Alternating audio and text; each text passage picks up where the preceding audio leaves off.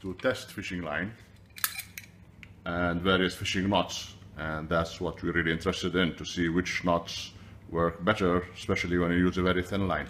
Now the first thing uh, we're using is this uh, weighing scale. And uh, it really needs to have a sliding indicator like this so you can read when the line snaps. Uh, the second uh, thing is need a, we use a plywood 18 millimeter plywood which is about three quarters of an inch. And this is a strip of marine plywood. And you can see a lot of holes where we have experimented with many other things. So it's been very useful piece of plywood. The rest of the assembly is very simple. Really you need to hold this down in place. And you need to hold it back so it doesn't snap back. So what we've done is we've used these simple uh, components. First we put this uh, plywood fix it on a workbench or a table. Now we are tight. Now what I've done is just use what I had at home and I have the screw so I put this protection on it which is a piece of uh, tubing which we got from a fish tank actually. And we install that right there. And there it is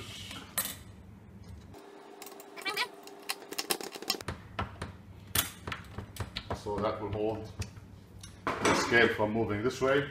Now we need the scale to hold it back when moving the other way. Otherwise it snaps and makes a lot of annoying noise. So we happen to have these uh, small nails. You can use anything about this size. And we had a piece of tubing. Again this is from uh, some irrigation pipe. Some irrigation tube like this one or like this one. So we just snap a piece out with this very useful scissors. Whoops. That's fun. There you go. And that we use as a as a protection so our scale doesn't get rub on it. So here we go. So let's put these nails in place first. This is a bit of a noisy part That's it. Then I made these two pieces with, attached with a piece of uh, fishing string just to hold the scale in place again the same thing with the nails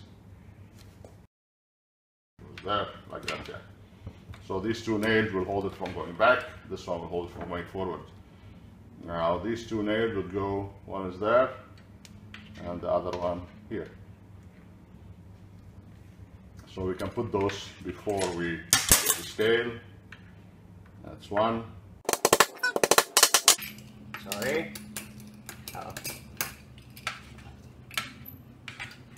Put a washer, we put another screw.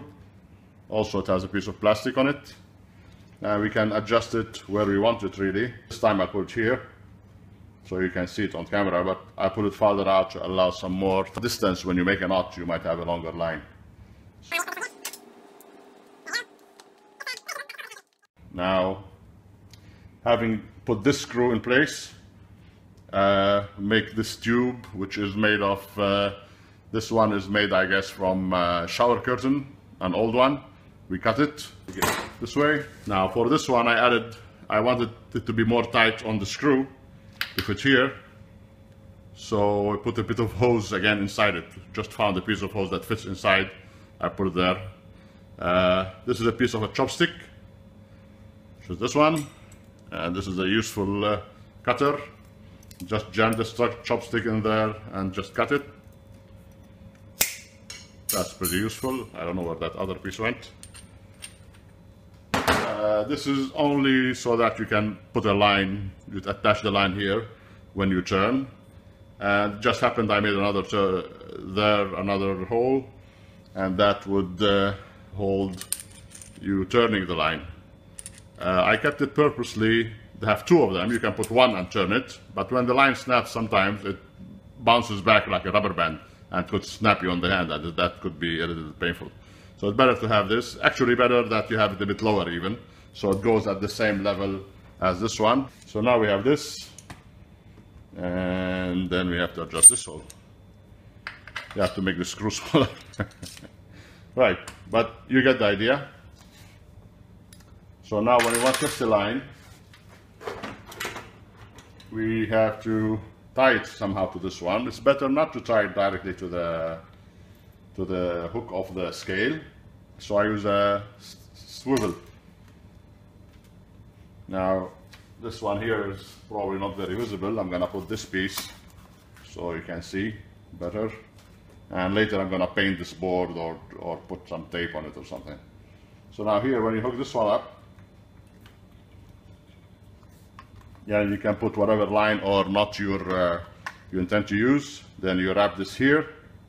So I test this line on this. I would use uh, improved clinch knot. And that would, uh, it's really, most cases, it's uh, stronger than the line. So I put it on the swivel. I go through this one, through the eye of the swivel twice. Like that, instead of once. But twice is better because the line does not snap when you pull it this way on the eye of the swivel. So twice would make it that twice as strong, I suppose. So here we do our improved clinch knot.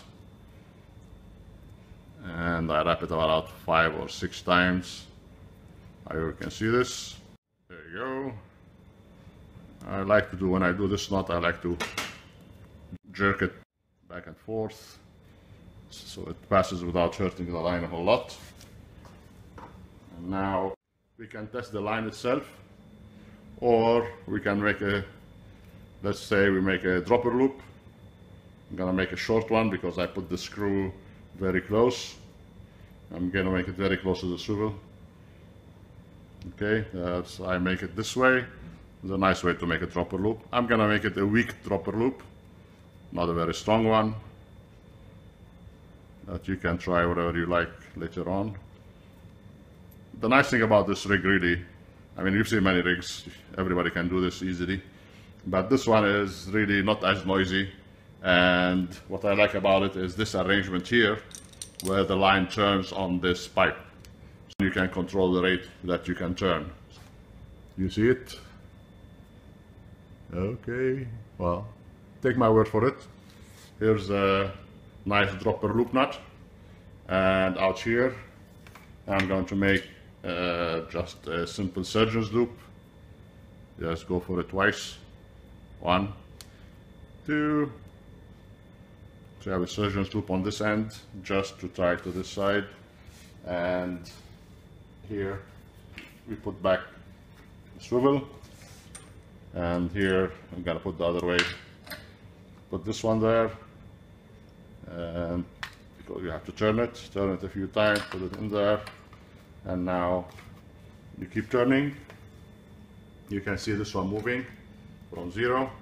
You keep turning this one until that line snaps. Here's the knot you see and usually uh, the improved clinch knot does not break it's even stronger than the line this, uh, this knot is supposed to break mm, and not the line, the knot will be weaker.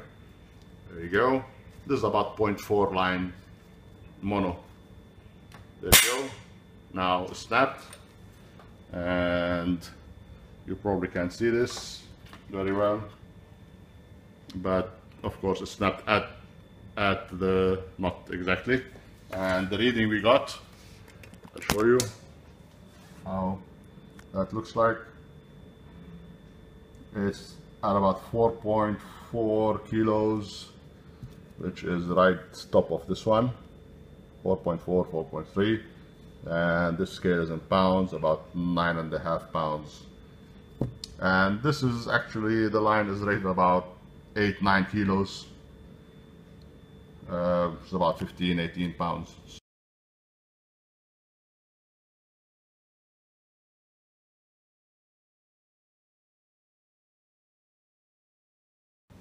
So this is one. So you can put this one on.